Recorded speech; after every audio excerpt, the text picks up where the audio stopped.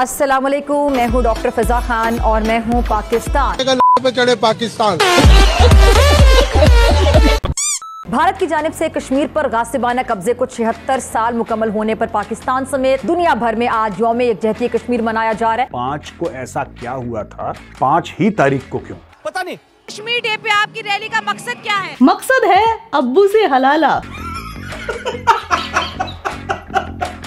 एक तरफ़ तो ये आसमानी कौम पूरे पाकिस्तान को बंद करके कश्मीर को आज़ाद कराने के लिए सड़कों पे निकल गए रोड पे निकल गए और आज से नहीं निकल रही है 1990 से 1990 से इनका ये तमाशा जारी है। भारत ने आज से छिहत्तर बरस पहले ज़बरदस्त ज़बरदस्त पहले ज़बरदस्त ज़बरदस्ती मकबूजा कश्मीर पर तसल्लुत कायम किया। अच्छा।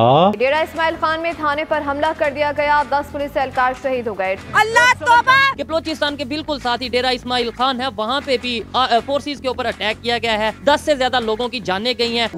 ये दुख का खत्म नहीं होता बे।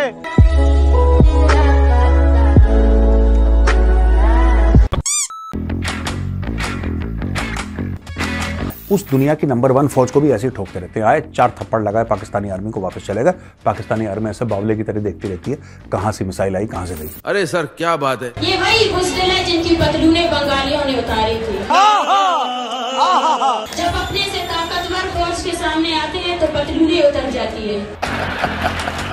बेसिकली पाकिस्तानी जो हैं, सिर्फ़ अपनी फौज ट्विटर पे चला सकते हैं। ये श्रीनगर कश्मीर के लिए तो इतने ड्रामे करते हैं लेकिन इनको अपना घर कभी भी नहीं दिखता इन पाकिस्तानियों को खास तौर से पाकिस्तान की मीडिया को। एक नंबर की हिपोक्रेट मीडिया ही है भारतीय नेवी ने पाकिस्तानियों के 19 मछुआरों को बचाया उसके बाद आठ मछुआरों को बचाया। मेन स्ट्रीम मीडिया ने एक ने भी ये खबर नहीं चलाई। इतने बड़े हिपोक्रेट है ये। हमारा ये मीडिया जो है जो मेन स्ट्रीम मीडिया है जो लिफाफे लेकर खामोश हो जाता है। लेकिन कश्मीर के लिए आय हाय आय हाय क्या नज़ारा है पाकिस्तान का क्या नज़ारा है? पूरा पाकिस्तान बंद। हमारा गुलामी की बेड़ी में जकड़ी। हम लेके रहेंगे और तुम पैदा करोगी जिहादी। हम छीन के लेंगे। आज़ादी। तुम्हारे साथ होगी हर दिन छिना झपटी। तू कैसे न देगा। आज़ादी। तुम कैसे ना करवाओगी हलाला तेरा बाप भी देगा। आज़ादी। तेरा बाप भी करेगा हलाला। वो मर चुकी है वो गैरत। इंडिया वाली पाकिस्तान। क्या? क्या क्या बोला? इंडिया वाली पाकिस्तान इंडिया वाली पाकिस्तान। सुन के अच्छा लगा। पाकिस्तान का झंडा लेके रोडों पे बाउलों की तरह फिर रहे हैं नारे लगा रहे हैं। कश्मीर बनेगा। पाकिस्तान बनेगा कब्रिस्तान। कश्मीर बनेगा। लाहौर बनेगा किट्टुस्तान कश्मीर बनेगा। कश्मीर बनेगा पाकिस्तान। अबे पाकिस्तान को पाकिस्तान तो बना लो पहले।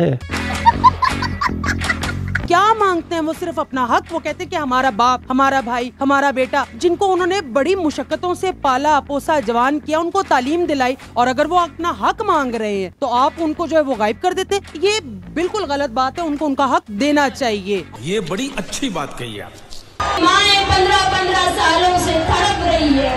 उनकी आँखों के आँसू खुश्क हो चुके हैं। सलाम है। हमारे कश्मीरी भाइयों को जिनके मजमूम अजाइम और हौसले कभी भी पस्त नहीं हुए हैं। चाहे जुल्म कितना भी बढ़ा दिया जाए। ना तो इनको बलूचिस्तान में जुल्म दिखता है ना इनको पीओके में जुल्म दिखता है ना इनको फाटा पे जुल्म दिखता है। इनको सिर्फ़ जुल्म श्रीनगर में दिखता है। हिपोक्रेसी की भी सीमा होती है। किसी का हुकूमत भी सही नहीं हो रहा है। किसी का भी नहीं हो रहा। तो किसी इसका का भी हल इसका हाल हम लोग गरीब का ये हालात है जो एक जगह में हम लोग कटा कर ले और सबको गोली चला ले खत्म कर देवे गोली चला के Amarera, amarera. आप अगर महरंग ब्लोच का अपने प्रोटेस्ट या आप ये चीज़ें देख रही होंगी तो आपको आइडिया होगा कोई बड़ी लंबी चौड़ी उनकी डिमांड नहीं है वो ये नहीं कि जो हमारे मिसिंग पर्सन हैं उनको आप अदालत में ले आए अगर वो गलत है तो सजा गलत है तो सजा दे हम अपने हाथों उनको फांसी लगाएँगे।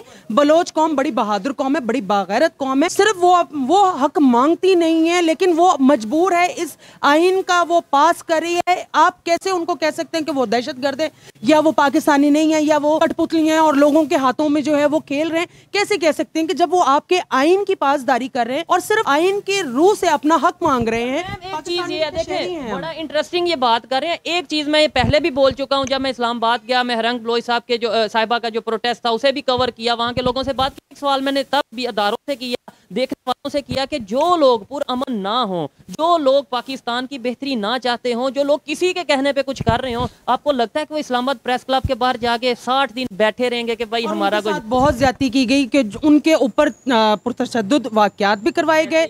उनको कवरेज नहीं दी गई मीडिया बिल्कुल।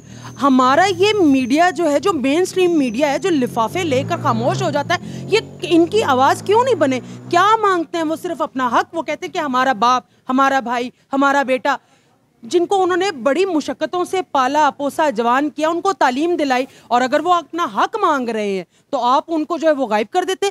ये बिल्कुल गलत बात है उनको उनका हक देना चाहिए। और महा और महारंग के लिए मैं एक शेर है ये मुनसिफ भी तो कैदी हैं ये मुनसिफ भी तो कैदी हैं हमें इंसाफ क्या देंगे? लिखा है इनके चेहरों पर जो हमको फैसला देंगे। इस इन ठेकेदारों की चाहे वो मज़हब के हैं चाहे वो सियासत के हैं ये उनकी खींची। कहेंगी हमें छिहत्तर साल नफरतों में लगा दिया कि वो दुश्मन है, वो दुश्मन है। आज वो चाँद पे पहुँच गया। आज वो दुनिया की पांचवी बड़ी इकानमी बन गया। आज वहाँ पे जो है वो दुनिया के बड़े बड़े बिजनेसमैन टॉप टेन की अगर बात करें तो उनमें से कई बिजनेसमैन इंडिया से हैं।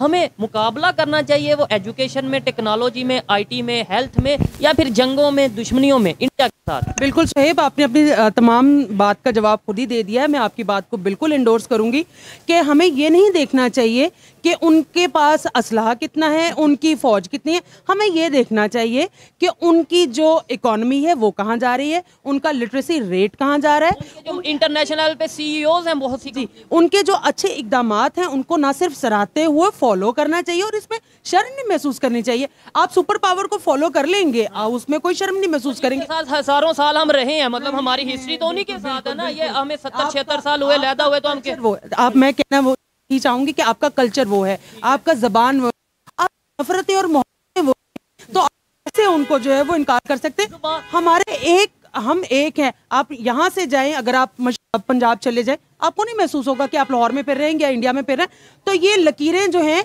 ये उन सरमायादारों की इस इन ठेकेदारों की चाहे वो मज़हब के हैं चाहे वो सियासत के हैं, ये उनकी खींची हमारे और उनके दिल दूर नहीं है और हम यही चाहते हैं कि मोहब्बत और भाईचारा और अमन कायम रहे, हम जिस खानवादे से रखते जिस लेगेसी को लेकर चल रहे हैं उनके उन्होंने हमेशा अमन की बात की उन्होंने हमेशा मोहब्बत की बात की। आपका बहुत आप भी आज डेरा इस्माइल खान में अटैक हुआ है पुलिस स्टेशन के ऊपर। सिक्योरिटी फोर्सेस के दस लोगों की जाने गई हैं। तीन चार दिन पहले बलोचिस्तान में अटैक हुआ। मतलब ये इश्यूज़ हैं इतने बेसिक इतने मेजर इशूज हैं। क्या समझते हैं जिसकी भी गवर्नमेंट आती है जो भी मतलब इलेक्शन जीतता है गवर्नमेंट आती है क्या ये अटैक होना बंद होंगे? और ये अटैक कहाँ से हो रहे हैं? अपने अंदर से हो रहे हैं बाहर से कोई इसका करवा रहा है? क्या कहना देखें जी ये तो हमारी एजेंसी को करना चाहिए ना। इन्होंने फोकस रखा हुआ है सिर्फ़ एक आदमी को कैदी नंबर 804 को टारगेट किया हुआ है ठीक है। ये तो इनको चाहिए कि हमारी जो सिक्योरिटी इन्होंने बनानी है करनी है करनी है ठीक है। तो जब सारा तवज्जो एक साइड पे लगी होगी तो फिर ये क्या कर सके हमें क्या दे सकते हैं? बात है बेशक बड़े पोलाइट वे में ये बात करें लेकिन ये कि भाई जिसकी जो ज़िम्मेदारी है वो अगर अपनी ज़िम्मेदारी पूरी नहीं करेगा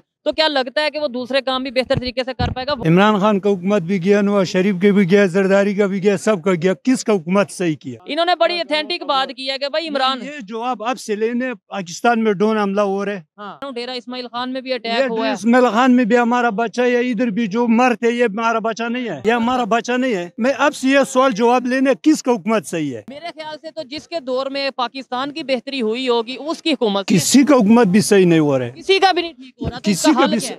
हल?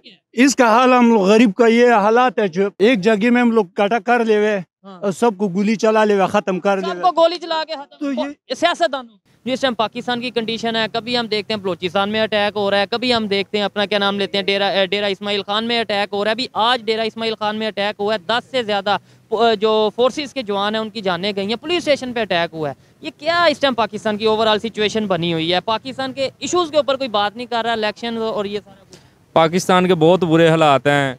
सड़कें वो टूटी हुई हैं ट्रैफ़िक जाम हर जगह मंदे हालात हैं गंदगी फैली हुई है कोई इस बात पे गौर नहीं कर रहा बात जिम्मेदार इसकी जिम्मेदार हुकूमत ही है और हम लोग हैं जो इस बात पे देखते नहीं है कि बस वोट डालना बस इसको वोट डाल दें। अपना अपना भी फ़ायदा देखना चाहिए कि किसको वोट डालेंगे कौन सी काम होएगा। पाकिस्तान का फ़ायदा देखना चाहिए। पाकिस्तान का फ़ायदा देखेंगे ऑटोमेटिकली हमारा अपना फ़ायदा भी हो जाएगा। आप इसके ऊपर क्या भाईजान कहना चाहेंगे? जो इस टाइम इशूज चल रहे हैं पाकिस्तान के बहुत बेसिक इशू चल रहे हैं उन्हें छोड़ के लोग इलेक्शन और ये चीज़ें और वो भी फ्री एंड फेयर तो इलेक्शन होने वाले नहीं हैं। क्या कहें सर देखिए ना सिंपल है कि जब तक स्टेबिलिटी नहीं आएगी ना पाकिस्तान के अंदर पॉलिटिकल स्टेबिलिटी नहीं आएगी। बिल्कुल।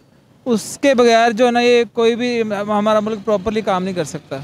तो ये इशू फेस करने ही पड़ेंगे। और सेकंड नंबर पे जो ऑलरेडी पहले चल चुके हैं सारा उन्हीं को दोबारा दोबारा आजमा रहे हैं। उनसे क्या निकालना मुझे समझ नहीं बोला जब तक पॉलिटिकल स्टेबिलिटी नहीं आएगी तब तक ये इश्यूज़ फेस करने पड़ेंगे। ये इश्यूज़ क्रिएट कौन कर रहा है? रिपीट हो रही है ना। नहीं सर ये जो अटैक हो रहे हैं ये कौन कोई बाहर से कर रहा होगा या हमारे अंदर के लोग हैं हम जैसे ही मतलब जो मैं बताऊँ अगर हर बंदा अपनी ड्यूटी प्रॉपरली कर रहा होगा ना तो फिर ये मसले खुद ही हल होना शुरू हो जाएँगे। पूरा वीडियो आपने देख लिया। वीडियो देखने के बाद में आपके दिमाग में जो भी विचार चल रहे हैं, उन विचारों को घर मत लेके जाइए। सारे के सारे कमेंट सेक्शन में उतार के जाइए और हाँ वीडियो को ज़्यादा ज़्यादा शेयर कर दीजिए। आप लोग अपना ख्याल रखिए, आपका भाई आपके लिए पाकिस्तान से रिलेटेड वीडियो लाता रहता है। जय हिंद बंदे मातरम, जय श्री राम, जय श्री राम, जय श्री राम।